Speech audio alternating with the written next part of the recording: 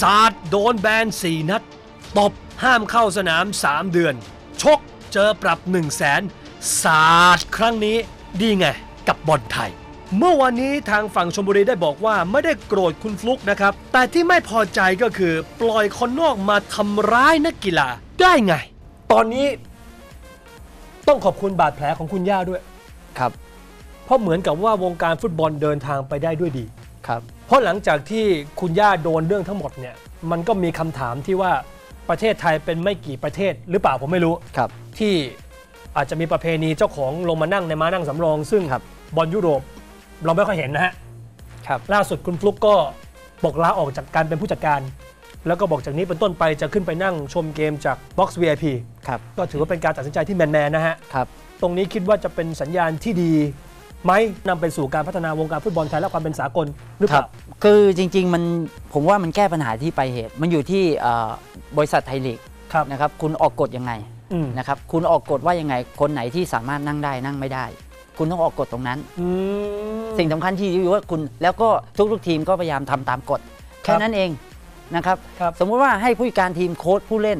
เจ้าหน้าที่ทีมอีก 3 คน ครับ ก็แค่นั้น ถ้าคุณออกกฎแล้วทุกทีมทำได้ ผมว่า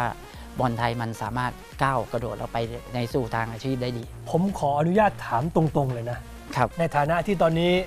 ผมถามได้แล้วครับเพราะคุณไม่ได้เตะบอลแล้วครับ ผมจะถามว่า การที่เจ้าของทีมอะลงมานั่งในม้านั่งสำรองอะมันช่วยทำให้ทีมดีขึ้นได้จริงไหมถ้าถามผมสำหรับเออชนบุรี ตั้งแต่ผมอยู่มาเกือบปีนี้ปีที่ครับผม7นะครับ ก็ยังไม่เคยเห็นเอ่อมีผู้บริหารมานั่งอยู่ในมาซุมานั่งสำรองโอเคคือจริงๆจะไม่นั่งเลยครับคือจะให้เป็นหน้าที่ของโค้ชครับและผู้จัดการทีมเป็นคนบริหารงานเออทั้งหมดครับนะครับแต่ว่าจริง ๆ เรื่องการนั่งไม่นั่งเนี่ยผมว่าเป็นบางทีมก็อาจจะผู้ใหญ่ไปนั่งแล้ว เด็กต้องฮึกเหิมในการเล่นเออต้องใส่ใจ แต่จริงๆมันก็คงไม่ได้ช่วยอะไรหรอกครับ ครับมันอยู่ที่หน้าที่ของโค้ชมากกว่าอืม สำหรับการจัดตัวผู้เล่นการคุยกับเรื่องผู้เล่นไปนั่ง ผมว่า บางทีบางทีมก็เก่งไปเนาะเก่ง บางทีมก็รู้สึกกระตุ้น ตอนนี้คุณท่าศักดิ์คุณรู้ไหมตอนนี้เนี่ยมันมีมันมีคำคมหนึ่งที่เกิดขึ้นจากคุณ แล้วก็ เป็นสิ่งที่ค่อนข้างจะกล้าหาญที่คุณออกมาพูดอะนะรู้สึกคุณจะไปพูดอะไรประมาณหนึ่งว่า คนที่มีเงิน คนที่มาทำฟุตบอล การที่คุณสร้างสนามสวย จิตใจของคุณต้องสูงตามด้วย คือตอนนั้นจ้องยอมรับว่าผมพูดด้วยผมโกรธมากคุณโมโหมาก ที่โมโหมาก ผมไม่ได้โมโหฟุก แต่ผมโมโหเอ่อเอ่อกราด กราดแล้วทำไมก็ว่าทำไมถึงควบคุมการอย่างนั้นถูกต้องครับ กีฬาเนี่ยมันมีอะไรบอกคุณแชมป์มั่งกีฬาแพ้บอกชนะอภัยถูกต้องเออ นะครับ เราต้องรู้จักแพ้ต้องรู้จักชนะ เราต้องรู้จักให้อภัยกันครับ ฟุตบอลมีแพ้มีชนะ ทีมผมก็ไม่ชนะที่จะชนะตลอด อาจจะแพ้ตลอด ทีมราชบุรีก็อาจจะแพ้ตลอดหรืออาจจะชนะตลอด แต่ถ้าคุณรู้จักให้อภัยกัน มันก็จะไม่เกิดเรื่อง นะครับผมถึงบอกว่าทำทีมฟุตบอลอย่าคิดแต่จะชนะอย่างเดียว อืมคิดถึงรู้จักให้อภัยกันด้วย รู้จักแพ้มั่งนะครับคนเรามันต้องรู้จักแพ้ระดับโลกเขาก็รู้จักแพ้ ถ้าคุณไม่รู้จักแพ้คุณจะเอาชนะชนะอย่างเดียว คุณคุณทำฟุตบอลด้วยจิตใจคุณมันมันมันจะไม่เป็นสุขอืมนะครับ แล้วคุณจะไม่ได้รักฟุตบอลโดยตรงครับนะครับ แล้วคุณย่าในโลกโซเชียลก็มีคนถามเยอะนะ คือเขาอยู่เมืองไทยมานานแล้วครับเป็นซูเปอร์สตาร์ครับเป็น นักบอลที่ผมชอบมากนะ ครับ เพราะว่าเขาบ้า ไม่ใช่บ้าเข้าใจเข้าใจเฮ้ยบ้าคือแบบบ้ามีสองความหมายอืมคือบ้าแบบเออไม่ดีอ่าบ้าแบบ you คือแบบสกอร์ไง สกอร์แบบบ้าบ้าโอเค energy energy เออบ้าแบบนั้นโอเคโอเคก็เลยมีคนอยากรู้ว่าไอ ฉากตอนแรกที่คุณไปเถียงกรรมการไปเถียงอะไรกันยูคอมเพลนอะไรอะยูพูดภาษาไทยภาษาอังกฤษอะตอนนั้นอะนี่หน่อย ภาษานิดหน่อยนิดหน่อย คือมีไทยอังกฤษมั่วๆไปยูยูไปเถียงเขาว่าไงอืมไม่เข้าใจ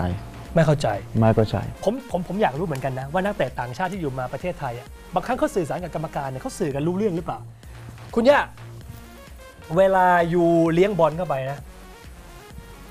คู่แข่งเตะอ้อ เจ็บ เจ็บ กรรมการปี๊บจุดโทษพูดอะไรกับกรรมการ โอเคโอเคขอโทษครับ good good เออดี ไม่มี yellow card ไม่มีอะอะไรจะให้แจกใบเหลืองด้วย โอเคกูดแดงแดงคู่แข่งไปแล้ว ไปแล้วเยี่ยม อะอ๋ออันอันนี้เป็น สมมุติคุณย่าเลี้ยงบอลเข้าไป ในจุดโทษ กรรมการบอก คุณย่าพุ่ง ไม่ใช่ฮะไอ้เจ็บเจ็บมากมากอะไรเป็นอะไร ไม่ใช่เฝ้าพุ่งหรือเปล่านี่ยพุ่งหรือเปล่า พุ่งหรือเปล่า พุ่ง พุ่งเปล่า พุ่งไม่เปล่าใช่ฮะไม่ใช่เฝ้าฟาวจริงจริงจริงๆแล้วเดี๋ยวจะดู My teacher และอ๋อนี่ครูใช่ไหมใช่แล้วเดี๋ยวดูว่าจะรักโค้ชแค่ไหน สมมุติ เทิดศักดิ์มาคอมเพลนกรรมการ